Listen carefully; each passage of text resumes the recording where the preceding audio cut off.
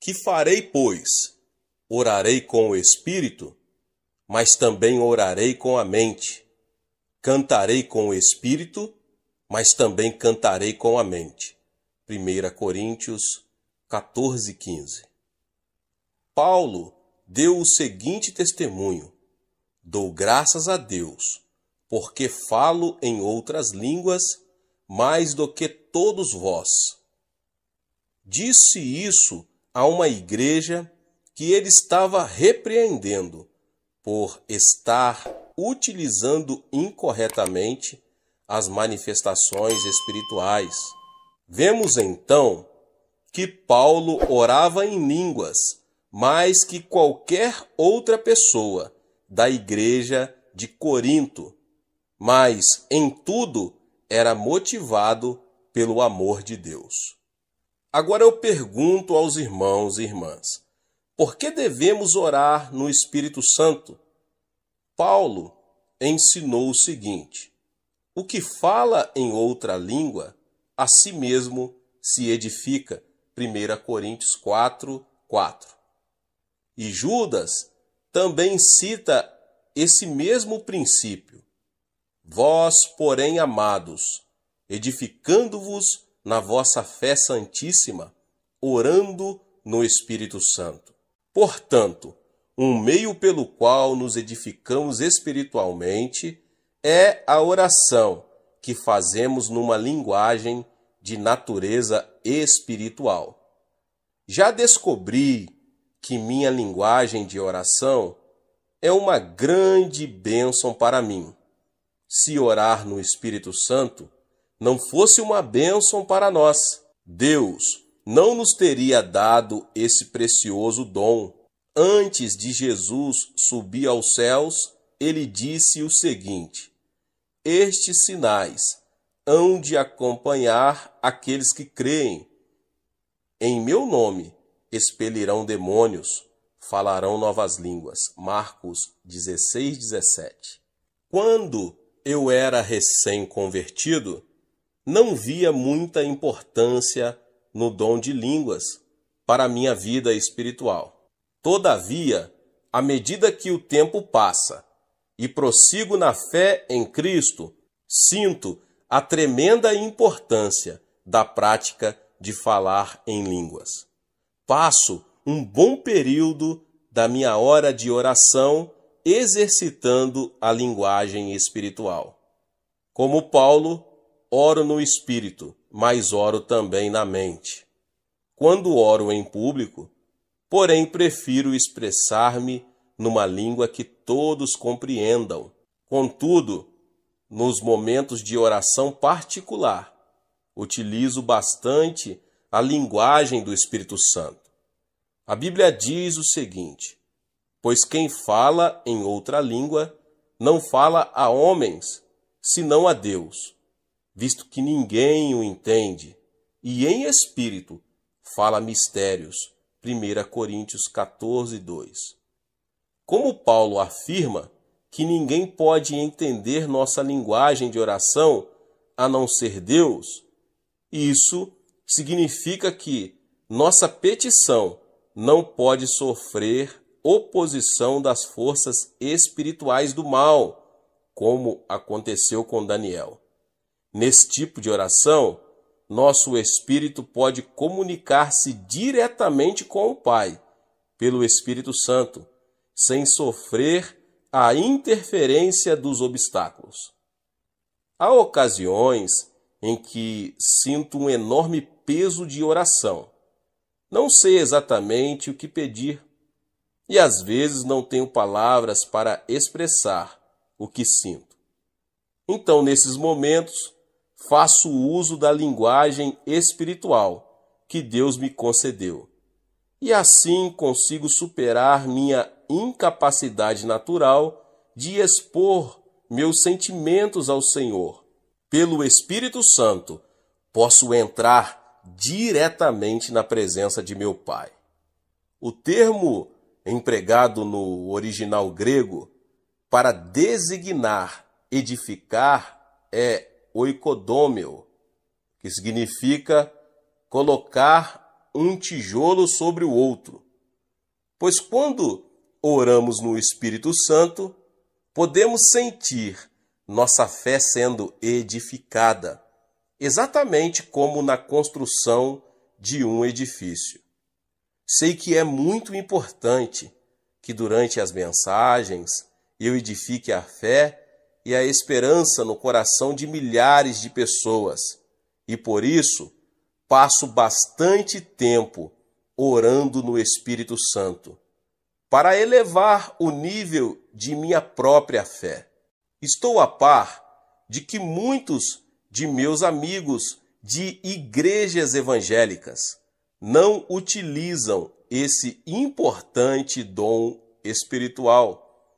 Isso não quer dizer, porém, que sejam crentes de segunda categoria.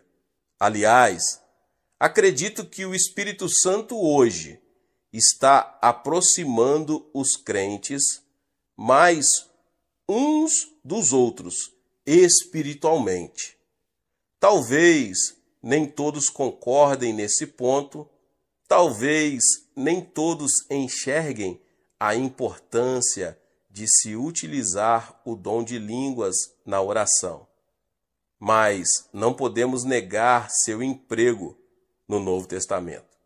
E não seria honesto de minha parte ministrar a vocês sobre a oração sem falar de uma prática que tem se constituído num grande auxílio espiritual para mim. Todo crente passa por luta interna. O espírito está sempre em luta com a carne. E quando nos fortalecemos espiritualmente, reunimos energias para superar a carne que está sempre tentando derrubar-nos. Recebi uma carta de um técnico de construção, um coreano que se encontra em Singapura. Nela, ele se lamenta de sua fraqueza e fala das quantas vezes resolveu não fumar, não dizer palavrões e não praticar nenhum mal. Desde que se tornou crente, ele vem tentando muitas vezes se corrigir, mas sempre fracassa. O que ele deveria fazer para se fortalecer espiritualmente? O que poderia servir para ajudar um crente assim? A resposta que lhe dei foi que buscasse receber uma linguagem espiritual. Assim que ele aprender a orar no Espírito Santo, o Espírito o ajudará a se fortalecer espiritualmente, de modo que será capaz de superar todas as tentações da carne. Também o Espírito, semelhantemente, nos assiste em nossa fraqueza, porque não sabemos orar como convém, mas o mesmo Espírito intercede por nós sobremaneira com gemidos inexprimíveis. Romanos 8, 26. No texto em que acabei de citar, Paulo afirma que o Espírito Santo intercede por nós. E como orar no Espírito é fazer uso do dom de línguas, a maneira de nos fortalecermos, de sermos assistidos em nossa fraqueza. E como orar no Espírito é fazer uso do dom de línguas, a maneira de nos fortalecermos, de sermos assistidos em nossas enfermidades, é usar essa linguagem espiritual na oração. O Espírito Santo conhece nossas necessidades espirituais melhor do que nós.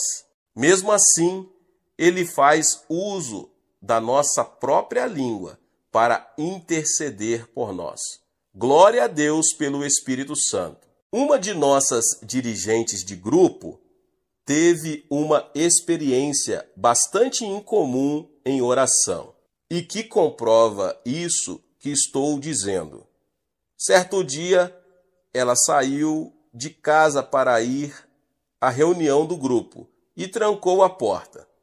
Quando já estava a alguns quarteirões de sua casa, sentiu um grande peso de oração, uma profunda inquietação.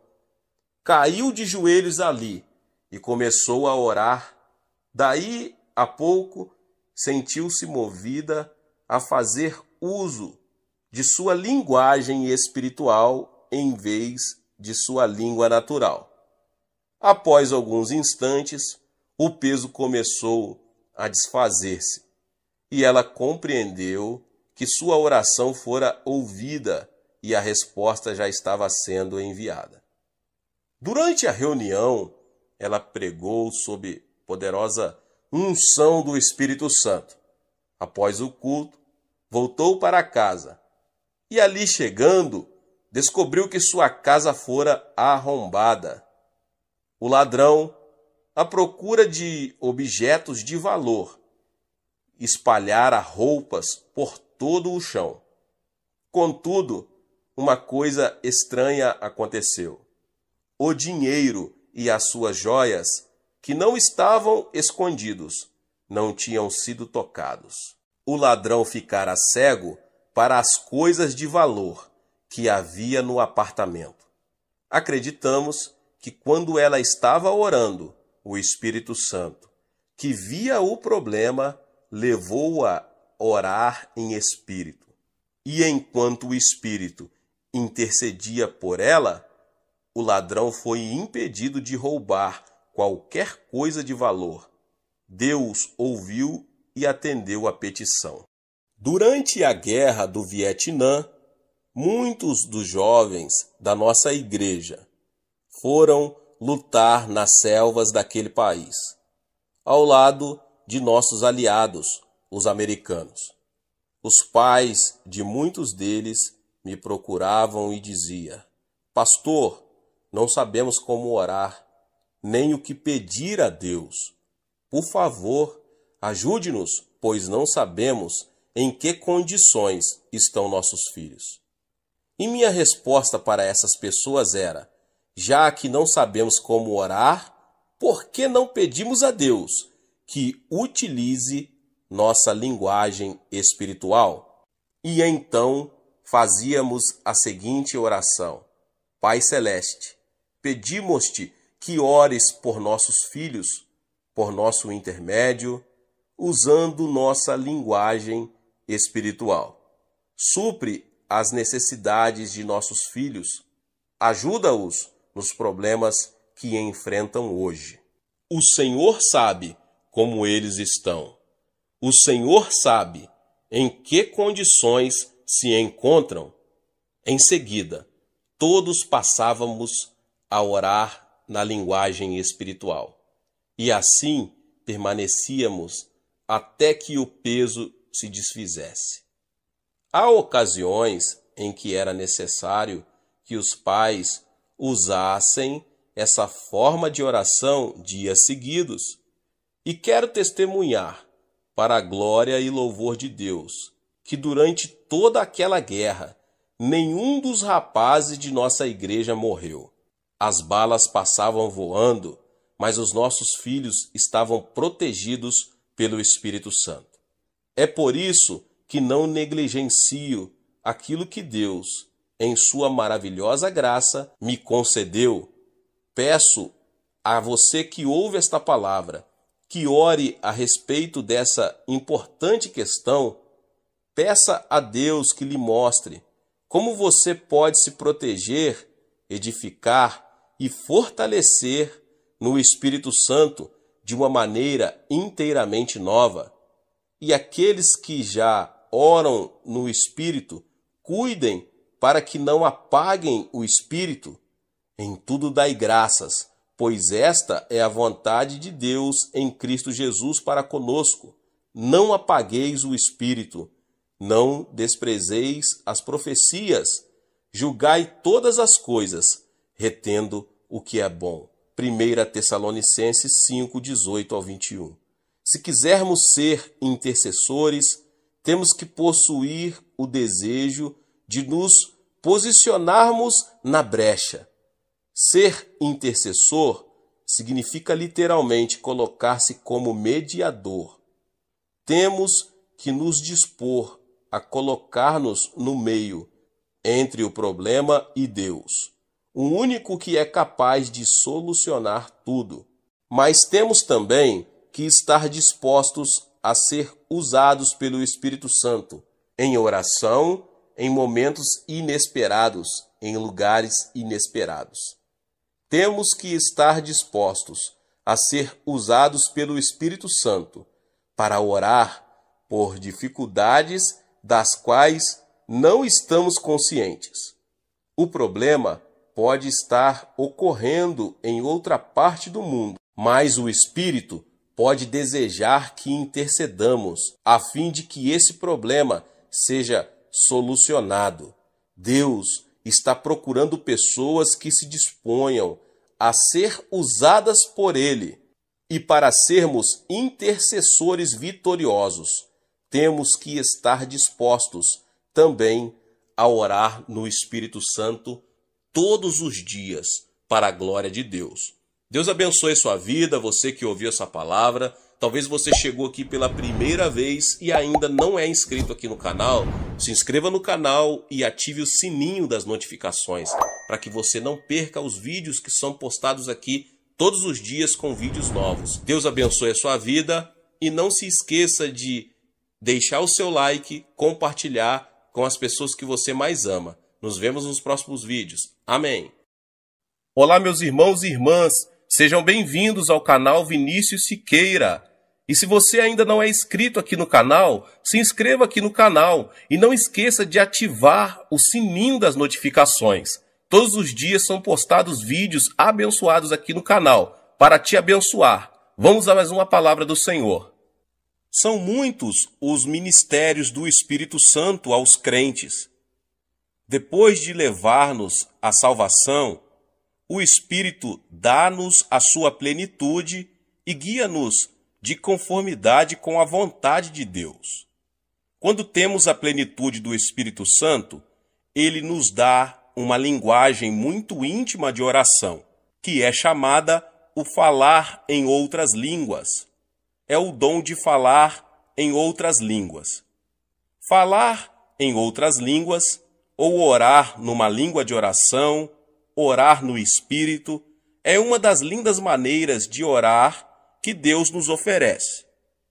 Quando os 120 discípulos de Jesus receberam o batismo no Espírito Santo no dia de Pentecoste, passaram a falar em outras línguas.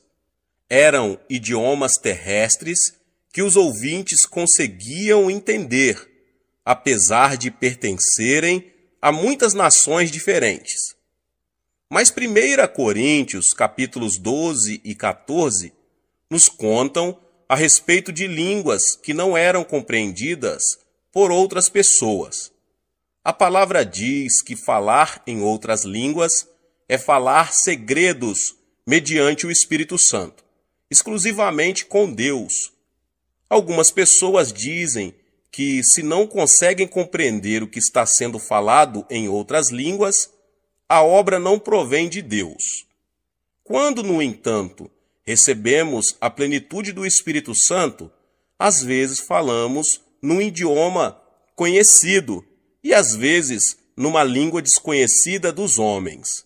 Os dois tipos de linguagem foram dados pelo Espírito Santo.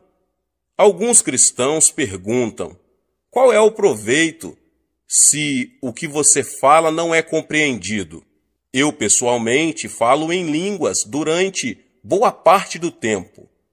Quando transborda a minha gratidão para com Deus e não consigo expressar minhas ações de graça suficientemente no meu próprio idioma, falo em línguas e o meu espírito recebe refrigério. Quando não temos nenhum pedido específico de oração, podemos orar a Deus em línguas, pois será o Espírito Santo quem orará através de nós. Durante uma vigília de oração, quando queremos orar durante um período mais longo, Orar numa língua de oração nos capacitará a orar livremente no Espírito. É quando temos mais tempos para orar. Orar em outras línguas não é orar segundo a organização do pensamento humano, é a oração do Espírito Santo. Ele usa nossa voz e espírito. Orar em outras línguas não impõe um fardo mental sobre nós, de modo que, se orarmos assim durante um período mais prolongado de tempo, isso não nos provocará fadiga. Muitos cristãos duvidam quanto a se é bom falar em outras línguas ou não. 1 aos Coríntios 14, 2 diz: Pois o que fala em língua não fala aos homens, senão a Deus. Com efeito, ninguém o entende, e em espírito fala mistérios. Somente os amigos mais íntimos compartilham segredos entre si. Humanamente, compartilhamos segredos somente com nossos amigos mais íntimos mas se o segredo for reconhecido, deixa de ser segredo.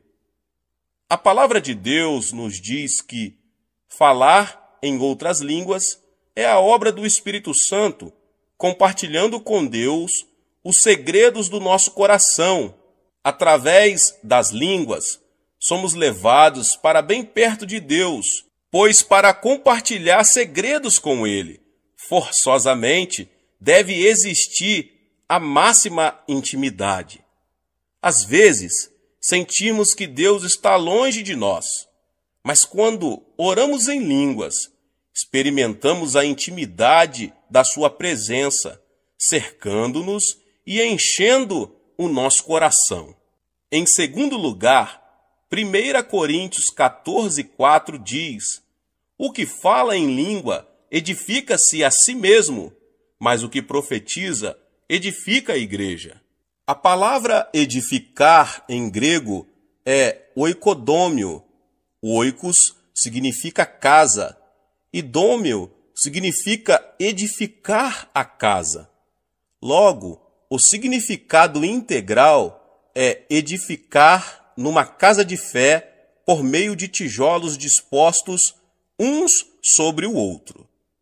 Quando, portanto, oramos em línguas, estamos edificando a nós mesmos, construindo a nossa casa espiritual de fé. Se não estivermos edificados pessoalmente, não poderemos transmitir aquilo que nós mesmos não recebemos. Então, para guiar outra pessoa para uma fé mais profunda, o orar em línguas é altamente recomendável. Paulo disse: Dou graças ao meu Deus, porque falo em línguas mais do que todos vós. 1 aos Coríntios 14, 18. Falar em outras línguas não é para os ouvidos das pessoas, porque não é de fácil compreensão quando oramos sozinhos ou em uníssono na igreja. Devemos falar em outras línguas dentro dos limites do período de oração e dos limites em que não perturbamos outras pessoas que estejam por perto. De qualquer maneira, orar numa língua de oração realmente é uma grande bênção para os cristãos experimentarem mais plenamente a graça de Deus. Em terceiro lugar, 1 Coríntios 14, 5 nos diz que quando as línguas são interpretadas, podemos compreender o conteúdo da mensagem em línguas. Na minha experiência pessoal de oração, falo em línguas e muitas vezes também interpreto. Quando o dom de interpretação de línguas começa a operar em mim pelo Espírito, percebo que estou interpretando minhas próprias palavras em línguas. E que a maior parte da mensagem interpretada consistiu em louvores e ações de graças a Deus. Em outras ocasiões, Deus tem me dado ensinamentos diretos através das línguas com interpretação. Todo aquele que ora em línguas deve orar para que receba interpretação, a fim de que entenda o que o Espírito está falando. Em quarto lugar, o falar em línguas pode ser um sinal para mostrar aos incrédulos que Deus está conosco. Preste atenção a 1 Coríntios 14, 22. De sorte que as línguas são um sinal, não para os crentes, mas para os incrédulos. Em Atos capítulo 2, lemos que os discípulos de Jesus estavam todos juntos no cenáculo, quando de repente o Espírito Santo veio sobre eles, e todos foram cheios do Espírito Santo e começaram a falar em outras línguas. Os judeus que estavam presentes, proveniente de outros países, ficaram atônitos ao ouvirem seus próprios idiomas, falados pelos discípulos. Esses discípulos oraram tão fervorosamente no idioma conhecido e em outras línguas que, quando Pedro pregou o Evangelho de Jesus Cristo, quase três mil pessoas arrependeram-se de seus pecados. Falar em línguas veio a ser para os incrédulos um grande sinal da presença viva de Deus. Isaías 28, 11 e 12 diz-nos que falar em outras línguas também nos oferece grande refrigério e descanso para nossa alma, pelo que por lábios estrangeiros e por língua estranha Deus falará a este povo, ao qual disse: Este é o descanso, dai descanso ao cansado, e este é o refrigério, mas não quiseram ouvir. Portanto, para aqueles entre nós que vivem num mundo de aflição, tanto físico quanto mentalmente, o orar em línguas oferece muito refrigério, como um copo de água gelada num dia de quente verão. Hoje, existem muitos pastores deprimidos. Outros pastores sofrem esgotamento por causa dos seus pesados fardos pastorais. Mas o Espírito Santo sabe das suas necessidades e, à medida que oram em línguas, experimentam também novas forças, saúde e refrigério. Quando estamos cansados e nosso coração fica cheio de dor, orar em línguas ajuda-nos grandemente a receber a restauração. Na realidade, orar em línguas é um tipo de oração cuja iniciativa é de Deus, conforme nos diz em Romanos 8, 26. Da mesma maneira, também o Espírito ajuda as nossas fraquezas. Não sabemos o que havemos de pedir como convém, mas o mesmo Espírito intercede por nós com gemidos inexprimíveis. Posto que vivemos num mundo limitado pelo tempo e pelo espaço, nem sempre conhecemos de antemão os perigos das nossas circunstâncias nem os acidentes que poderão nos ocorrer. Na Bíblia, porém, Deus diz que conhece as nossas enfermidades e por isso o Espírito Santo nos ajuda a orar em línguas. Então, ele nos livra dos perigos desconhecidos e nos capacita a vencer os sofrimentos da vida, e isto dentro do seu plano de redenção. Quando o Espírito Santo opera em nosso coração como um espírito de intercessão, podemos ficar aflitos por não saber como devemos orar.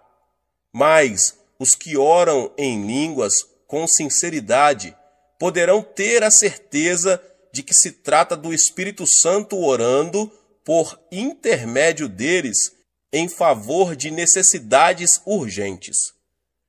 Nesse contexto, orar em línguas é frutífero e cheio de alegria.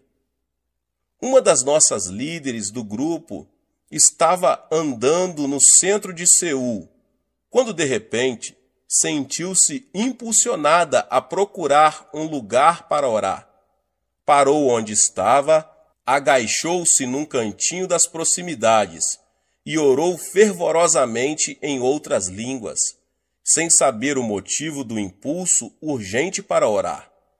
Quando foi aliviada a pressão intensiva para orar e ela passou a ter paz, tornou-se consciente de que uma grande multidão estava ao seu redor e que havia um policial entre o grupo.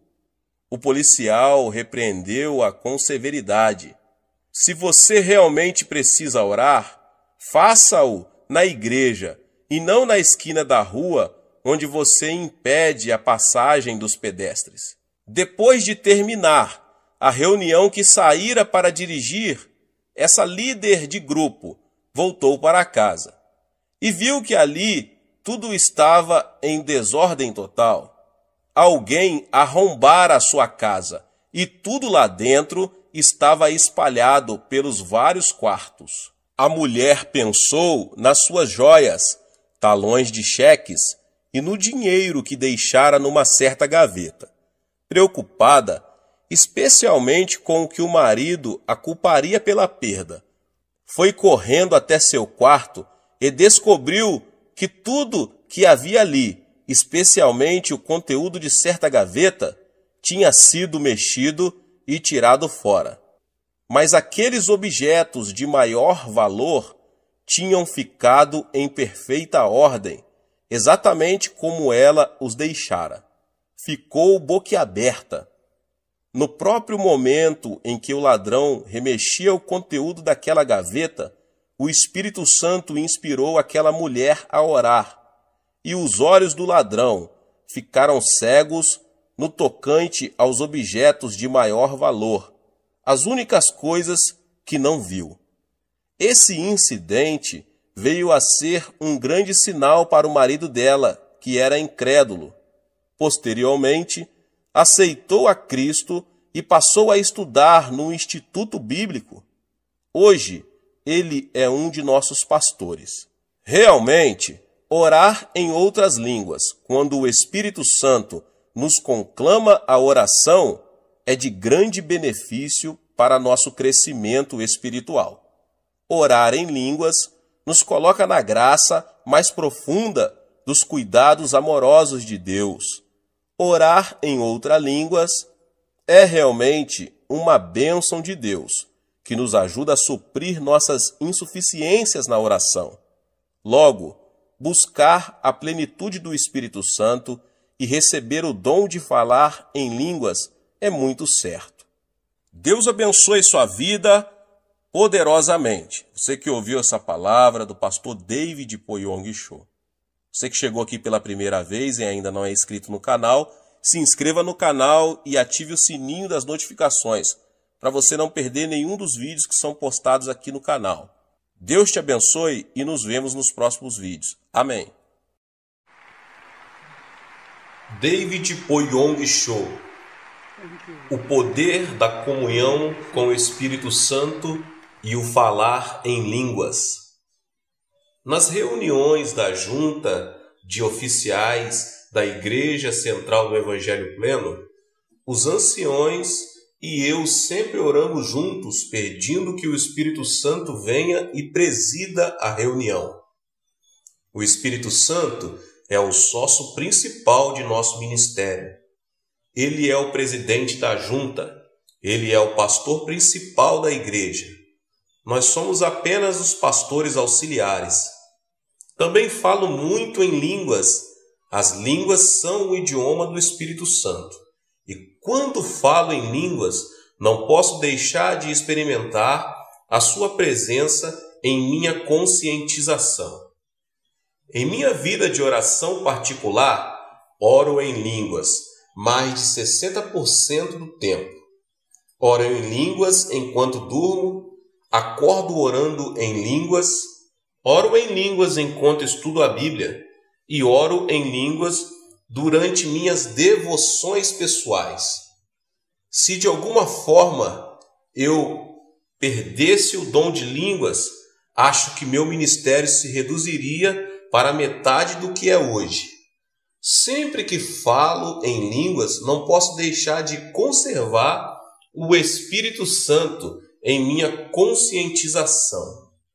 Quando aprendi a falar inglês, comecei a falar inglês o mais que podia. Comecei a pensar em inglês e escrevia meus sermões em inglês. Até mesmo falava comigo próprio em inglês, porque eu realmente queria ter proficiência nessa língua. Por muito tempo fui torturado por me esforçar a falar inglês. Hoje, embora meu inglês não seja tão fluente, adquiri facilidade de expressão que me permite falar inglês sem muita luta. Agora estou fazendo a mesma coisa com o japonês, falando japonês, escrevendo em japonês e até mesmo pensando em japonês, porque meu alvo é levar 10 milhões de japoneses a Cristo Jesus. Tendo lido a Bíblia em japonês e tendo gasto tanto tempo com essa língua, até que meus sonhos são em japonês. Dessa maneira, tomo conhecimento da língua japonesa durante o tempo que passa, que passo acordado. Tudo em minha mente está sendo ocupado com o japonês. O mesmo acontecia quando me concentrava em inglês. Tudo que era norte-americano ou britânico e por tudo no mundo que fala a língua inglesa tornou-se minha conscientização. Veja o mesmo acontece com falar em línguas. Quando a pessoa fala em línguas durante todo o dia, não se pode deixar de sentir a conscientização da presença do Espírito Santo. E logo, o orar em línguas ajuda-me a ter constante comunhão com o Espírito Santo. É claro que esse tipo de comunhão com o Espírito Santo exige uma vida de oração. Deus espera que sejamos um povo que ore, porque é mediante nossas orações que Deus escolhe operar nesse mundo. Orações poderosas e inspiradas pelo Espírito Santo realizou milagres. Todos nós precisamos ser saturados com a oração desde o instante em que nos levantamos de manhã até a hora de irmos dormir à noite. A oração é nossa respiração espiritual. Se não orarmos, nossas vidas espirituais morrem. Mas a única oração verdadeira é a que se pode ser identificada com a comunhão com o Espírito, o Espírito Santo. Porque qualquer outro tipo de oração torna-se formal e legalista. Deus deseja que tenhamos comunhão íntima com Ele por meio do Espírito Santo.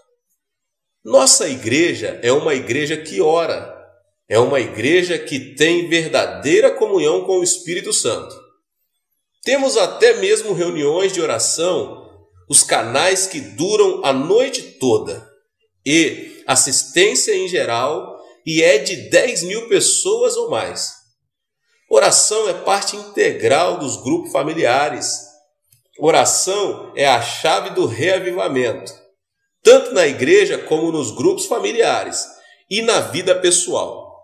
Não somente damos ênfase para a oração na igreja central do Evangelho pleno, mas também ao jejum. Muitos e nossos líderes de grupo gastam bastante tempo em jejum e oração pela salvação de almas em seus bairros. Geralmente eles jejuam de um a três dias. Outros têm um dia regular de jejum semanal. Em nossa congregação, tenho visto pessoas com algum problema sério que Deus não resolveu em resposta para oração simples. Essa pessoa vem a jejuar por sete dias. Se o caso é de vida ou morte, alguns dos nossos membros têm jejuado por 15 a 20 dias e alguns de nossos membros têm até mesmo jejuado por 40 dias, como Jesus o fez no deserto. Mas sempre digo a nosso povo que precisam ter um objetivo quando jejuam. Não devem jejuar apenas por jejuar, porque isso nada realiza. Quando as pessoas têm orado pedindo uma resposta definida e parece que o Senhor não responde, digo-lhes que jejuem e orem, até que recebam a segurança de Deus de que Ele está respondendo. De fato, 90% das orações que tiveram respostas definidas em nossa igreja foram as combinadas com jejum. Todos os anos, os membros de nossa igreja fazem 300 mil visitas para a montanha de oração. Nosso retiro, que fica perto da zona desmilitarizada ao longo da fronteira com a Coreia do Norte. Vão lá para orar e jejuar por necessidades especiais, específicas. Cerca de 60% deles vão para orar pelo batismo no Espírito Santo e pelo dom de línguas. O próximo maior grupo vai para orar por solução de problemas familiares e o terceiro grupo vai orar pedindo cura. Tenho visto muitos milagres como resultado de jejum e oração.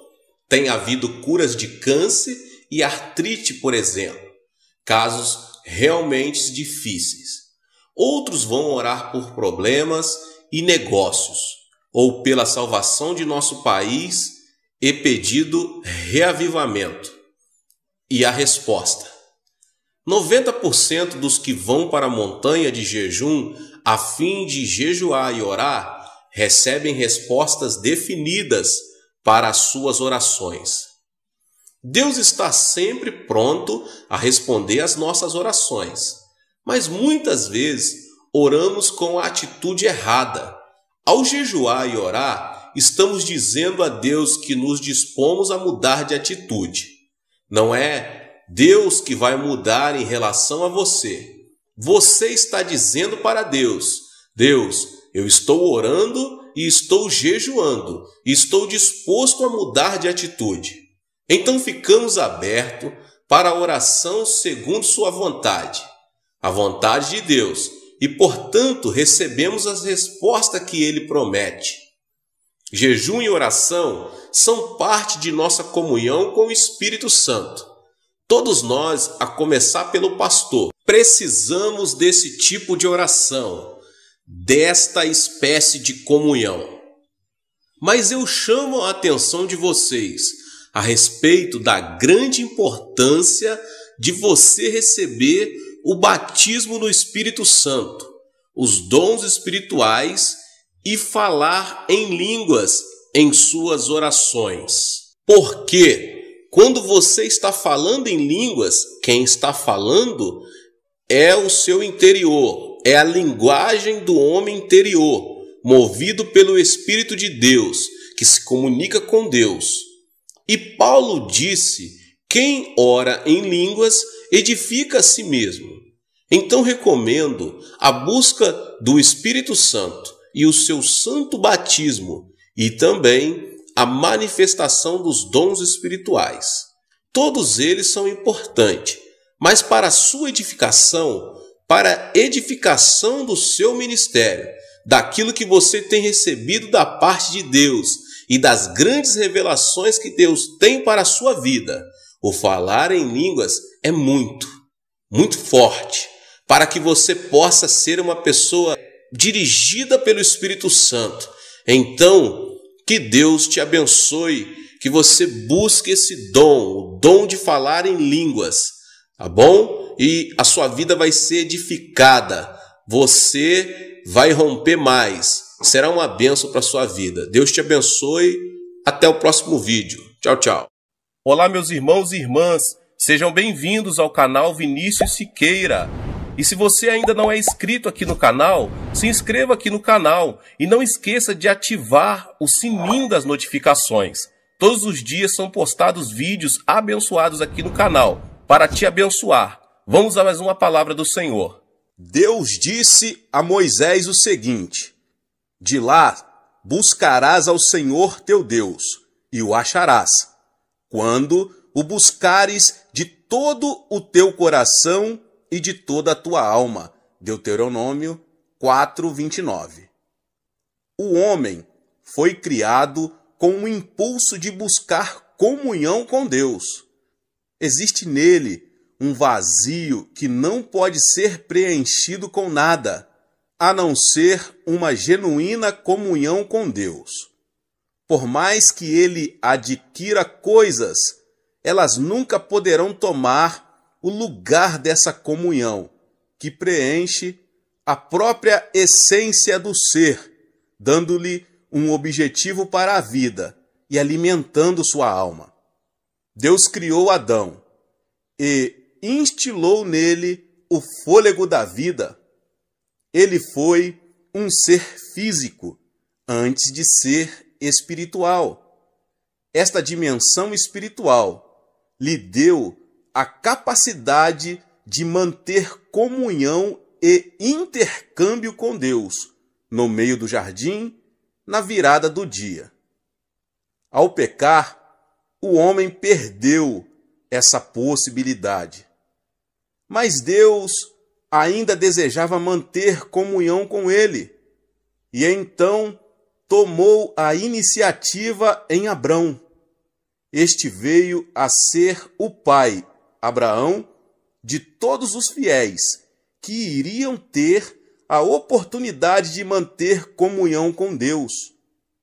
Mais tarde, Deus manifestou sua presença física na terra, através do tabernáculo de Moisés.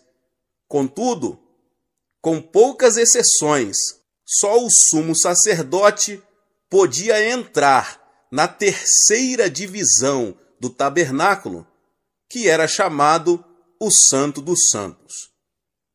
No reinado de Davi, assim que ele foi aclamado rei de Israel, a primeira coisa que fez foi mandar trazer para o local de culto de Israel a arca da aliança, que era símbolo da presença de Deus.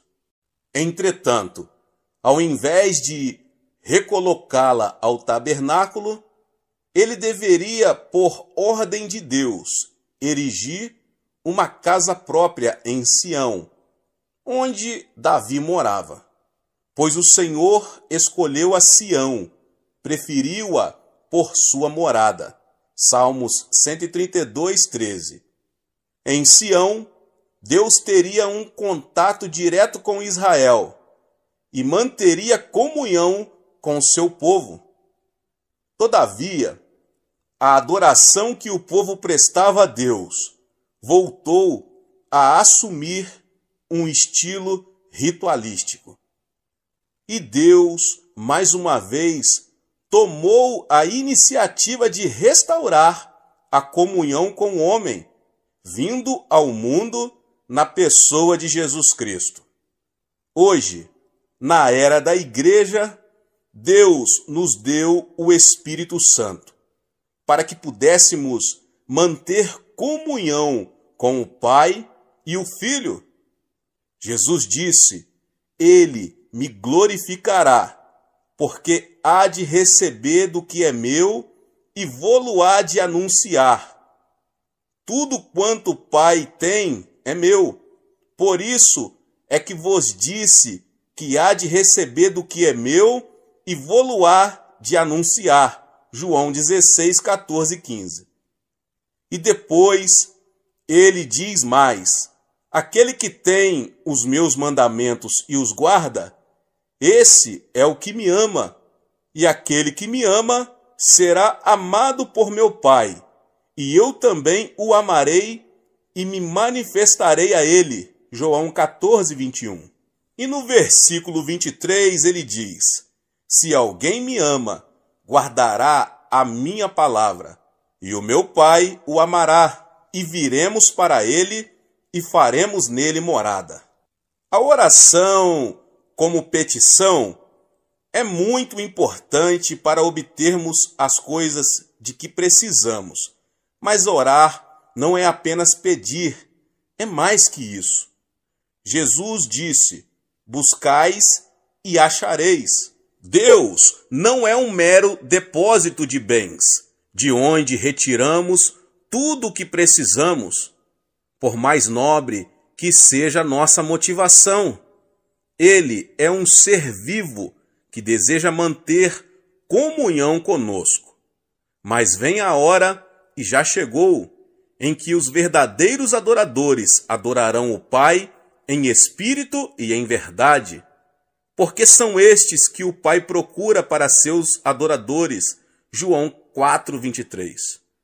Portanto, o outro nível de oração, que vem depois da oração de petição, é buscar. Isso não implica supressão da petição. O maior não suprime o menor, mas o menor está sempre incluído no maior. O apóstolo Paulo levou uma vida de oração e comunhão com Cristo. Ele dá o seguinte testemunho à igreja de Filipos: Mas o que para mim era lucro, isto considerei perda por causa de Cristo. Sim, deveras considero tudo como perda, por causa da sublimidade do conhecimento de Cristo Jesus, meu Senhor, por amor do qual perdi todas as coisas e as considero como refúgio para ganhar a Cristo. Filipenses 3, 7 e 8. Como é que Paulo pôde ganhar a Cristo? Sabemos que a salvação é um dom de Deus pela graça, mediante a fé. O que Paulo está dizendo neste texto não é que faz isso para ganhar a salvação, mas ele se refere a uma profunda comunhão com Cristo. Esse nível de comunhão não se consegue por acaso tem que ser buscado e por isso exige esforço da nossa parte. O que Paulo recebeu com esse tipo de oração? Ele responde a essa pergunta no verso 10: Para o conhecer e o poder da sua ressurreição e a comunhão dos seus sofrimentos, conformando-me com ele na sua morte. E depois, prossigo para o alvo, para o prêmio da soberana vocação de Deus em Cristo Jesus. E no versículo 15, ele apresenta um desafio a todos nós.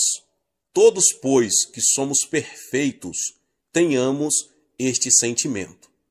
Neste último versículo, o apóstolo revela que o sinal de que uma pessoa atingiu maturidade espiritual é o desejo de chegar a um nível espiritual no qual tenha uma comunhão íntima com Cristo.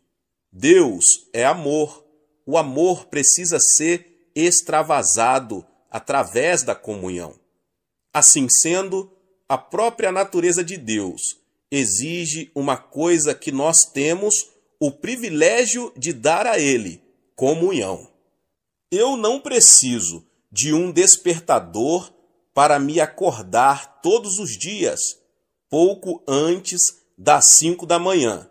Apenas escuto uma batida à porta do meu coração, e isso automaticamente me desperta. Aí eu ouço o Senhor dizer: Show, está na nossa hora, quero ter comunhão com você. Mas esse permanente relacionamento com Cristo não começou por uma simples resposta a uma petição. O que buscamos? Temos que buscar o Senhor, pois nele estão todas as bênçãos mais preciosas, em quem todos os tesouros da sabedoria e do conhecimento estão ocultos. Colossenses 2:3. Em Colossenses, Paulo apresenta a igreja como um campo riquíssimo. Nesse campo está escondido um grande tesouro. Mas não se trata de um tesouro material, e sim espiritual, sabedoria e conhecimento. Quando um recém-convertido ora, normalmente recorre ao trono de Deus em momentos de grandes dificuldades. Assim sendo, buscam a Deus querendo alguma coisa. Isso é bom e é muito importante. Deus quer que peçamos a Ele as coisas. Contudo, algumas pessoas vêm a Cristo apenas como se ele fosse um armazém, aonde vão com uma lista de compras para obter bênçãos de que precisam. Entretanto, todos os grandes mistérios, os tesouros de conhecimento, a fonte da alegria total e completa, essência do amor, estão em Cristo, esperando-nos como um tesouro escondido. Os que forem sábios venderão tudo que possuem e comprarão o terreno para que possam adquirir aquele tesouro.